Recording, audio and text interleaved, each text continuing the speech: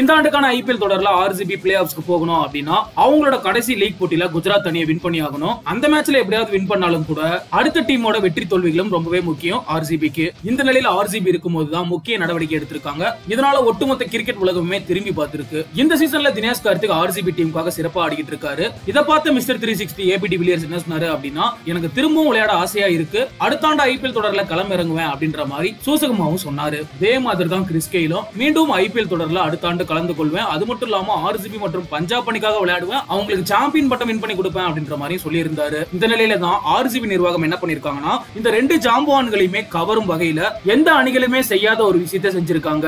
என்ன அப்படின்னா எப்பவுமே ஐசிசி என்ன பண்ணுவாங்கன்னா கிரிக்கெட் ஜாம்பவான்களுக்கு ஹால் ஆஃப் ஃபேம் அப்படின்ற ஒரு அந்தஸ்தை கொடுப்பாங்க. அதே மாதிரி இப்ப ஆர்சிபி ஆரம்பிச்சிருக்காங்க. இவங்களும் ஹால் ஆஃப் ஃபேம் அப்படின்ற அந்தஸ்தை வழங்க முடிவு செஞ்சிருக்காங்க. இதுக்கு மூணு ரூல்ஸ் வச்சிருக்காங்க. என்ன ரூல்ஸ் அப்படின்னா ஆர்சிபி அணிக்காக குறைந்தது மூன்று ஆண்டுகளாவது விளையாண்டு இருக்கணும் தற்போது அவங்க எந்த அணியிலுமே இருக்கக்கூடாது. அது மட்டும் இல்லாம ஆர்சிபி அணிக்காக பல போட்டிகள்ல வின் பண்ணி கொடுத்திருக்கணும். இந்த மூன்று விதிகளின் படி யார் வந்திருக்காங்க அப்படின்னா கிறிஸ் கெயில் ஏபிடி வில்லியர்ஸ் இவங்களுக்கு தான் ஆல் ஆஃப் ஃபேம் அந்தஸ்தை வழங்கி ஆர்சிபி அணி கௌரவிச்சிருக்காங்க. இந்த நிகழ்ச்சியில காணொலி மூலியமா கலந்துகிட்டு பேசினாங்க கெயிலும் டி வில்லியர்ஸும் அவங்க ரெண்டு பேருமே ஆர்சிபி அணிக்கு நன்றியும் சொன்னாங்க வாழ்த்துக்களையும் சொல்லிக்கிட்டாங்க. இது ஆர்சிபி ரசிகர்களுக்கு பெரும் மகிழ்ச்சி ஏற்படுத்தி இருக்கு இந்த நிகழ்ச்சியானது அடுத்த ஆண்டு பெங்களூர்ல நடைபெறும் அப்படின்னு சொல்லி ரசிகர்கள் மகிழ்ச்சியும் தெரிவிச்சிருக்காங்க. இதுவரைக்கும் ஆர்சிபி அணிக்காக நூத்தி ஐம்பத்தி ஏழு போட்டியில விளையாடி இருக்காரு ஏபி டிவிலியர்ஸ் மொத்தமா நாலாயிரத்தி ஐநூத்தி இருபத்தி ரெண்டு ரன்கள் எடுத்திருக்காரு. கிறிஸ் கெயில பொறுத்த அளவுக்கு தொண்ணூத்தோரு போட்டிகள்ல விளையாடி மூவாயிரத்தி நானூத்தி இருபது ரன்கள் எடுத்திருக்காரு. இருந்தாலும் இன்னொரு பக்கம் எதிர்ப்பு வந்துகிட்டு இருக்கு. அது என்ன எதிர்ப்பு அப்படின்னா ஆர்சிபி அணிக்காக முதல் முறையா விளையாடிய